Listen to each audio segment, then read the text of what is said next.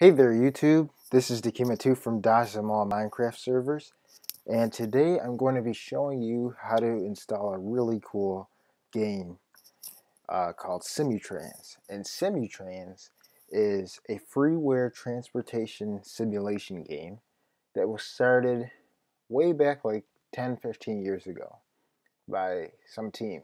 So enough with that we're gonna actually download this game that I've been really meaning to show everybody. So first, open up Google and type in Simutrans. Then you're to click on the first link in Google or Yahoo or whatever.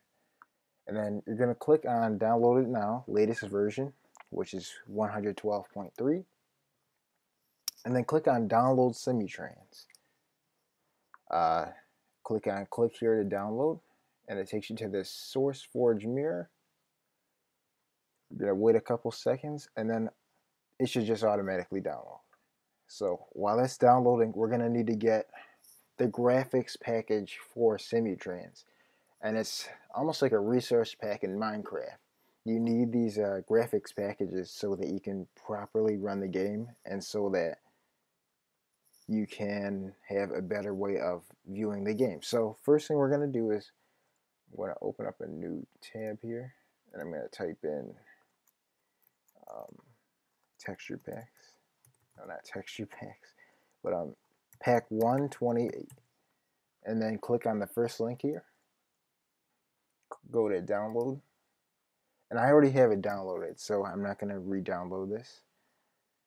But once you get that downloaded, the next thing you're going to want to do is go to your downloads and then take out the Simutrans download. We can get it here.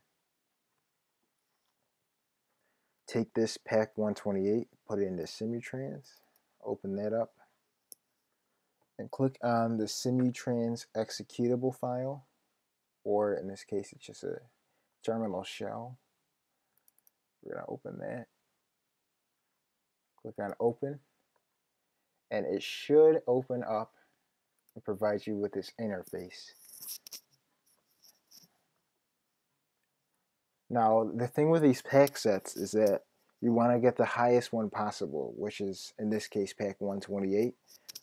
But you got to be careful with the packs you get because some of the packs can be uh, underdeveloped, so to say.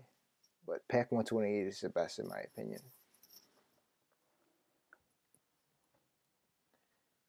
And so now it's open and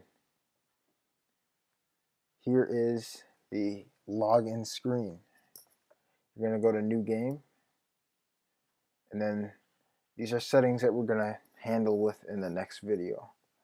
So thanks for watching guys and be sure to come back to the next Simutrans tutorial which will be setting up your first game